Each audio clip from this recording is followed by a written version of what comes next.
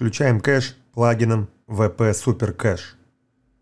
Итак, в прошлом видео мы с вами установили плагин VP Super Cache, который отвечает за кеширование сайта. Давайте перейдем в настройки. На самом деле, для новичков, для понимания, э, плагин сложный, но тут нужно объяснять каждый момент. Здесь э, достаточно просто включить там, где разработчик пометил рекомендовано. Этого будет достаточно. То есть изначально я включаю. Дальше нажимаю проверка. У нас проверка прошла успешно. Зелененьким все подсвечивается. Также при необходимости можно удалить кэш.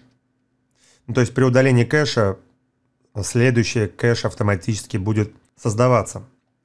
Дальше здесь имеются вкладки расширенные. Ну вот как я и говорил, вы, конечно, можете почитать все пункты.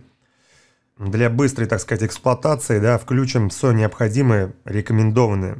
Этого будет достаточно, как я уже говорил. У нас даже уже некоторые точки стоят напротив рекомендовано уже по умолчанию. Вот, например, сжимать файлы кэша, чтобы ускорить работу. Ставим галочку «Здесь рекомендовано». Здесь галочка стоит. Ну, конечно, нужно читать, вникать. А, то, что вам непонятно, как новичку, какие-то пункты, вы их пропускаете. Я просто отмечаю все, что рекомендовано. Ввели изменения.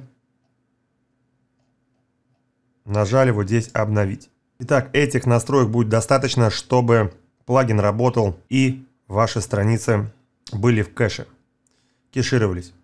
Также этот плагин находится, если вы перейдете вот так вот в консоль, настройки Super Cache. Это если вы захотите сюда вернуться, да, внести какие-то изменения, почистить кэш и так далее. А на этом я видео заканчиваю и жду вас в следующем видео.